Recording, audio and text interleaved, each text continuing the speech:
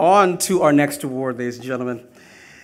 The X honor of the night goes is for awarded for leadership and successes which are innovative, unconventional, and daring, embodying York's trailblazing motto, redefine the possible. Ladies and gentlemen, Nina Arsenault. For me, the artist's role is to follow their obsessions. If you work from that point, people will always encounter something meaningful.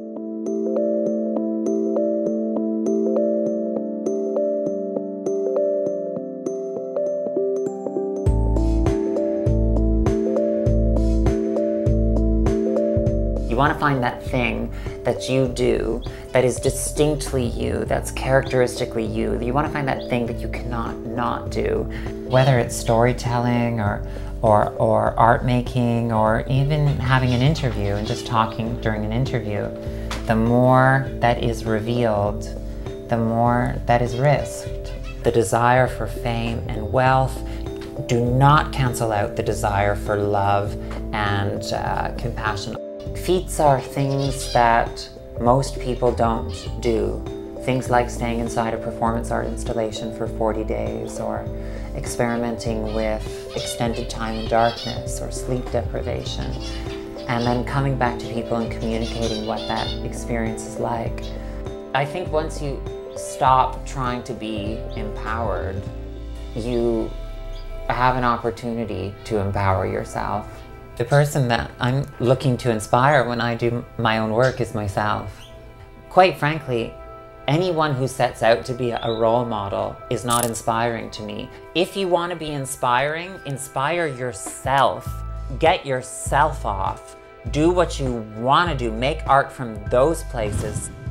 Multidisciplinary artist Nina Arsenault redefines the possible of her art, herself, and the world around her.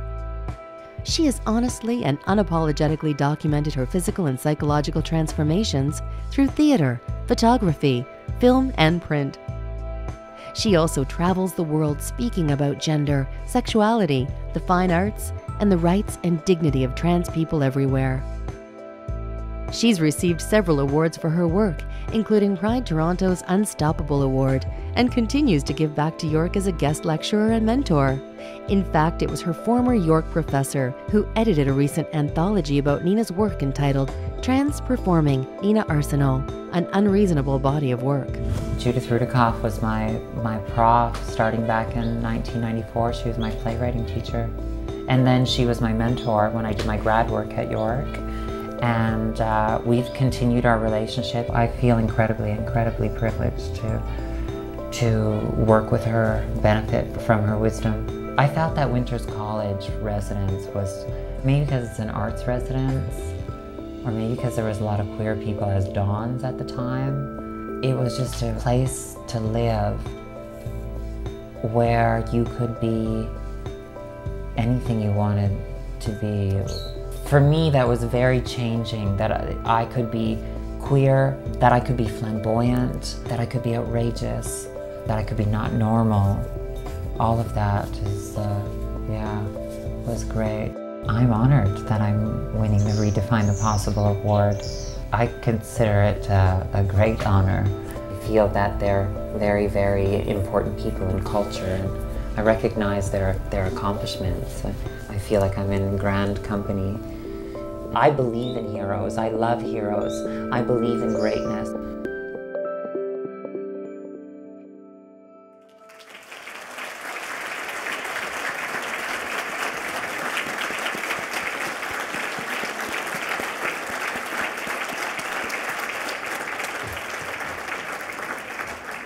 Ladies and gentlemen, it's my great pleasure to introduce to you the recipient of the 2012 Bryden Alumni Award for Redefine the Possible, Nina Arsenault.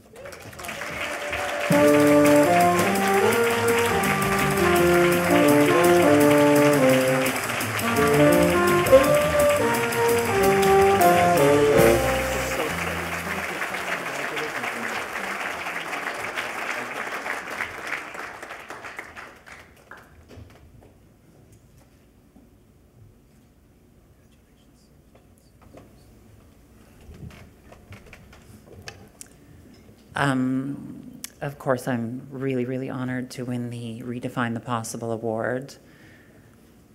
And I think, in service of not paying lip service to redefining the possible, um, it's such a huge honor. I'd like to acknowledge um, Winters College a little bit more. I talked about it in the video that it was so okay for me to be a queer person there at Winters. For the first time in my life, I was 18 years old. I could not only be accepted or tolerated, I could have that wonderful, wonderful thing that happens when people do more than only pay lip service to equality. I could actually be equal. Because sometimes when people talk about equality, they mean that you get to be in the room, but you only get to be secondary or tertiary. And unfortunately, that doesn't always happen with what people say to you. That happens with how things are said. To be inside an artistic environment where I was just as good as everyone else, that was life changing. And when I look at the other women in my community, I, when, I, when I say the women in my community, I mean transgendered women. The ones that unfortunately fall through the cracks of society who cannot maintain jobs or make significant contributions to culture, I notice two things. I, I, I see a line drawn between the women in my community those who are successful, whatever that personal definition of success means to them, number one, had the support and love of their parents. And those who did not, did not. It's that black and white. So I would like to take a moment and acknowledge the love and support of my mother Sylvia and my father Bernie.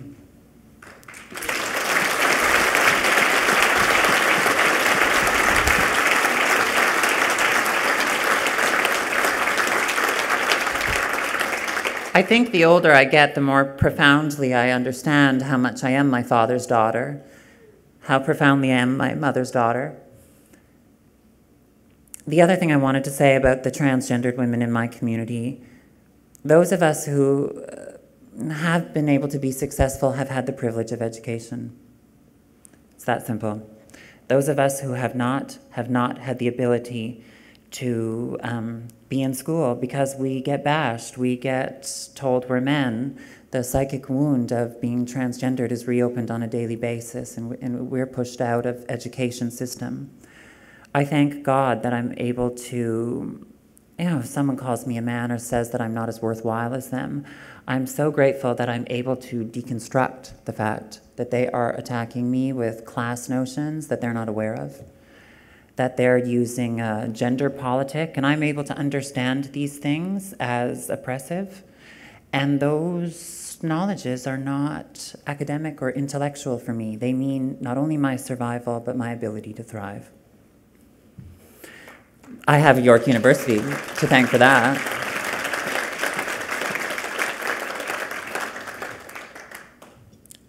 And so at this moment in my talk, I would like people to with an open heart and an open mind, imagine for a moment what it would be like tomorrow morning if you woke up and you looked into the mirror and you saw the genitals of the opposite sex on your body?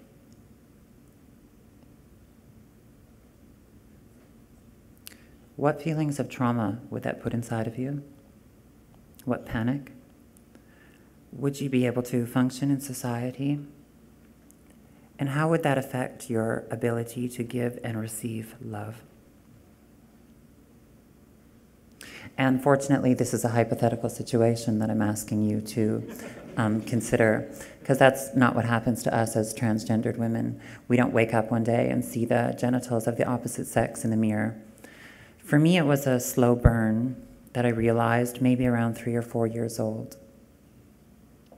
And so I ask you again to consider with an open heart and an open mind what psychological resources does a child have to deal with that realization? I'm talking about the first cut. I'm talking about trauma. The knowing that things will never be the way you want them to be. And in a certain way, I think that I don't think I'm that different than everyone, probably even in this room, because we've all experienced trauma, all of us as a child. I'm very interested in when that first cut takes place, because I think at, at that point there's a part of us that stops developing. And so, in, we all are children in adult bodies. But once we realize that, we can know that there's also a virgin part of us that existed before the first cut. And we can be very, very good children. And what's wonderful about children is they love so quickly, so easily, that children are so much more advanced in terms of their emotional life. In the artwork that I've been so privileged to be the creator of through um, my collaborations with Judith Rudakoff, uh, Buddies in Bad Times Theater, um, York University, as well as other universities in the States like Cornell and um, a City University of New York, um, uh, financed by BMO. Um, I'd just like to acknowledge them in those moments.